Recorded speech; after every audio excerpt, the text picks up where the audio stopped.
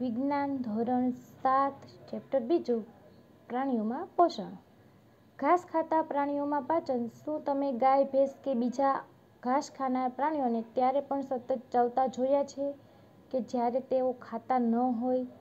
હકીકતમાં તેઓ ખૂબ જ ઝડપથી ઘાસ ગળી જાય છે અને અમાશય નામના જઠરના અમુક ભાગમાં સંગ્રહે છે. અહીં ખોરાક અર્ધપાચિત હોય છે જેને વાગોળ કહે છે. પરંતુ વાગોળ નાના ગોળકોના સ્વરૂપમાં મોંમાં પાછો આવે છે અને પ્રાણીઓ તેને ચાવે છે. આ પ્રક્રિયાને વાગોળવું કહે છે અને આવા પ્રાણીઓને વાગોળનાર કહે છે. અહીં ખોરાક છે તે સંગ્રહાય પછી અહીંથી ગોળા, ગોળકો સ્વરૂપે પાછું પ્રાણીઓ ચાવશે. હવે ઘાસ સેલ્યુલોઝથી ભરપૂર કાર્બોદિત મનુષ્ય છે, મનુષ્ય સહિતના બધા જ પ્રાણીઓ સેલ્યુલોઝનું પાચન કરી શકતા નથી.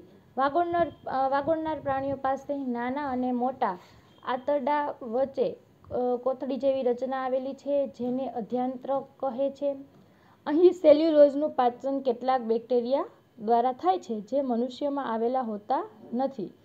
તમે ઘણા પ્રાણીઓ કે જે પાચનતંત્ર ધરાવે છે તેના વિશે અભ્યાસ કર્યો, પરંતુ ઘણા નાના સજીવો છે, જે મુખ કે પાચનતંત્ર પણ ધરાવતા નથી.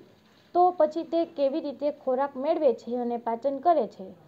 હવે પછીના વિભાગમાં ખોરાક મેળવવાની અને રસપ્રદ પદ્ધતિનો અભ્યાસ કરીશું. અમીબામાં ખોરાક ગ્રહણ અને પાચન. અમીબા તળાવના પાણીમાં જોવા મળતું સૂક્ષ્મજીવ છે. અમીબા કોષરસ્તર એક ગોળ ઘટ કોષ કેન્દ્ર અને કોષરસમાં ઘણી નાની ગોળકો જેવી રચનાઓ ધરાવે છે.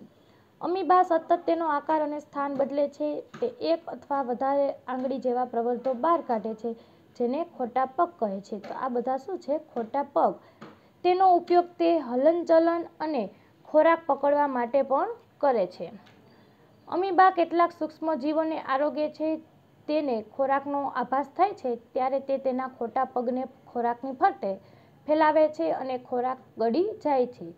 આ ખોરાક અંધાનીમાં ફસાય છે અંધાનીમાં પાચક રસો ઠલવાય છે, તે ખોરાક પર કાર્ય કરે છે અને સરળ પદાર્થોમાં ફેરવે છે.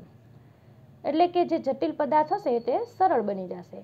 ધીરે ધીરે પાચિત ખોરાક શોષણ પામે છે અને શોષાયેલો ખોરાક વૃદ્ધિ, શરીર ટકાવી રાખવા અને કોષોના બહુગુણન માટે વપરાય છે.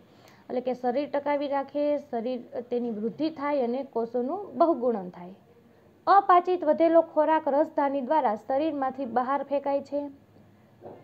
ખોરાક પાચનની પ્રક્રિયા અને શક્તિ મુક્ત થવાની પ્રક્રિયા બધા પ્રાણીઓમાં મોટા ભાગે એકસરખી જોવા મળે છે. આ પછીના પ્રકરણમાં તમે નાના આંતરડામાં શોષાયેલ ખોરાકનું શરીરના વિવિધ ભાગો તરફના વહન વિશે અભ્યાસ કરશો.